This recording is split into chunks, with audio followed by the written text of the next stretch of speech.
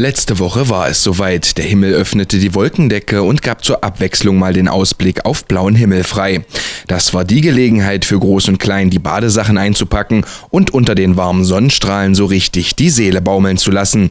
Denn mal ganz ehrlich, in diesem Sommer war das nur selten der Fall. Ähm, ziemlich enttäuschend, also viel zu wenig Sonne. Also dieses Wochenende ist ja einfach, oder diese Woche ist perfekt, voll viel Sonne und es ist einfach schön hier und ich will mehr von solchen Tagen. Ja, eigentlich ganz okay, außer manche, manchmal, wo es geregnet hat. Äh, bisher war äh, die, die Sommer äh, für mich eigentlich zu kalt und zu regnig. Aber so, so viel Regen fand ich. Die letzten drei Tage waren super, ansonsten recht durchwachsen. Wie dem auch sei, es war Zeit, ins kühle Nass zu springen, ein Eis zu essen oder sich in der Sonne knusprig braun braten zu lassen. Aber der Sommer warf im wahrsten Sinne des Wortes seinen Schatten auf die Freibäder, deren Geschäft saisonabhängig ist. Badleiter Thomas Wierum von der Steinbachtalsperre bei Euskirchen kann mehr darüber erzählen. Er hat sich schlecht ausgewirkt. Wir hatten Pfingsten eröffnet, drei Tage guten Besuch und danach war nichts mehr. Der Sommer an sich ganz schlecht. Letztes Jahr habe ich immer gesagt, das ist ein schlechter Sommer. Schlechter kann es nicht werden, aber das war leider gelogen. Bis jetzt ist es noch schlechter. Aber wir hoffen durch den Besuch jetzt, dass wir dann ein bisschen bessere Besucherzahlen bekommen.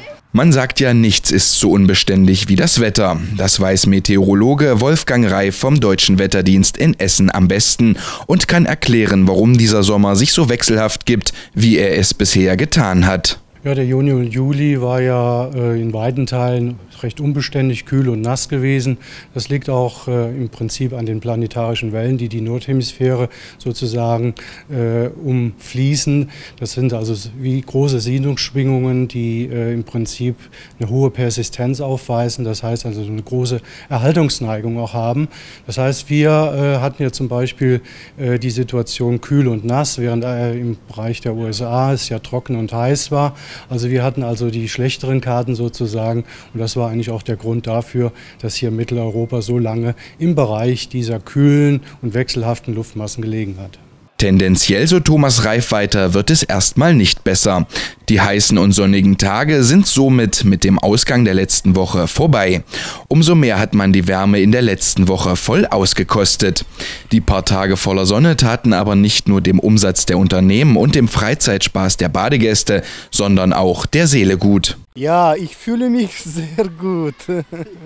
Sehr schön, ja die Seele ist so ganz bisschen, kann man sagen, hoch diese Woche. Sehr gut. Ich genieße jeden Tag, solange die Sonne da ist. Herrlich, einfach traumhaft schön. Besonders mit unseren Enkelkindern, die aus Berlin hier sind. Und wir freuen uns, dass wir das hier an der Steinbachtalsperre mit den beiden Mäusen genießen können. Gut.